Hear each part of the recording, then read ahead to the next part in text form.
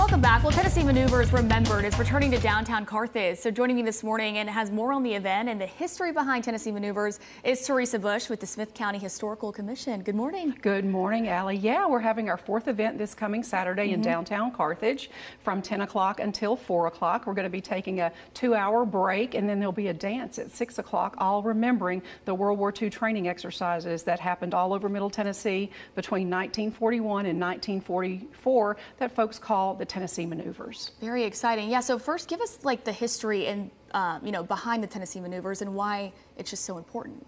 Well, when we got ready to uh, think about the possibility of entering World War II, America wasn't ready. In fact, we had less than 500,000 U.S. Army soldiers uh, in the regular Army, the National Guard, and the reserves. And Japan already had over a million. Germany already had over a million. So the War Department thought, guys, we have to get ready in case we go into war. So they came to Middle Tennessee where there had been some National Guard camps in the past and put together these set of training exercises. You're looking at pictures from the maneuvers uh, that happened again all over Middle Tennessee. There were seven sets of maneuvers, Allie, and most of them lasted six to eight weeks. And at that time, the soldiers did everything necessary to train to get ready for war. And when I say that, I mean literally. There's a picture of a man cooking. You wow. know, everything they needed to go to war had to come here and then practice. So they practiced jumping out of airplanes. They practiced making foxholes. Uh, this is a great picture from the Nashville Motor Speedway. All of those are tins full of communications wire.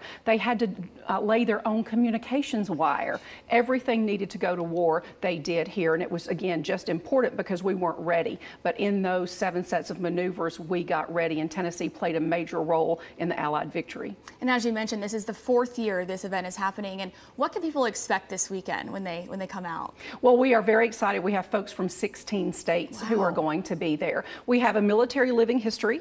We have a home front living history where people will learn about rationing and salvaging and civil defense. We have some vintage airplanes. One of them actually participated in the maneuvers. Now it's been refurbished, of right. course, but we will have some flyovers at 12. Two of the main things that really draw a lot of folks, we're going to have a battle down Main Street. The U.S. Army divided the soldiers here into what's called the Blue Army and Red Army. So we took from the files that we have and we're going to reenact one of the battles they did on Main Street, which would be them taking a town. Also, we're going to have the Tiger tank. This is a big, big draw. There you go. Beautiful picture wow. here. A gentleman and a group out of Knoxville called Panzer South. They have uh, produced, create, manufactured this mock uh, tank. I mean, it really is a tank, but I'm saying it's made after right, a. Right, it's right. not a refurbished one, Allie. Help me here. yes. It's not a refurbished replica. one. Yes, there a replica. That's there we the go. word. Yes, yes, yes. It's a replica of a German tank. It will be a static display in our encampment, and it will fire two blank rounds four times that day. We will have weapons demonstrations. We have a group of Germans who will uh, uh, be there, even though the Germans, of course, clearly were not in mm -hmm. the Tennessee maneuvers, but they are a group that wanted to come because it's Tennessee. It's a central place for them. We will have uh, a, a, war cake tasting. The ladies didn't get as much sugar and stuff as they mm -hmm. wanted back then. We will have um, vehicle rides. We have three German motorcycles with sidecars that will be coming. So uh, if you'll go to smithcountyhistoricaltourism.org is our website, and we have Tennessee maneuvers.